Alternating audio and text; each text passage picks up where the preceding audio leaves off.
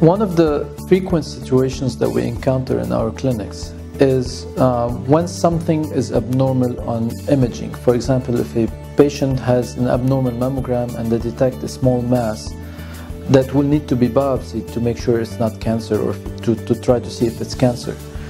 Uh, one of the um, common misconceptions is that people think that if we, if we biopsy a mass, mass and it happens to be a cancer, could this be a reason for this cancer to spread or to disseminate into the body? Well, first of all, this is the only way to see if we have cancer or not. So if we, if we really think based on the mammogram, if we experts, expert opinions believe that there is something abnormal on an x-ray or uh, on another imaging study, we should always push to get the biopsy because that's the only way to diagnose cancer. Then it's also very important to educate people that a biopsy does not usually cause a cancer to disseminate.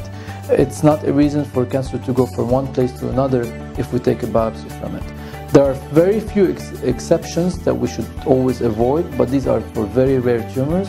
For the most common tumors, biopsying, biopsying a, a tumor or a lump or a nodule does not cause the cancer to spread. So we should not avoid these procedures when they are truly indicated based on what we see on uh, the imaging uh, and based on mammograms, colonoscopies, etc. So that's important to know.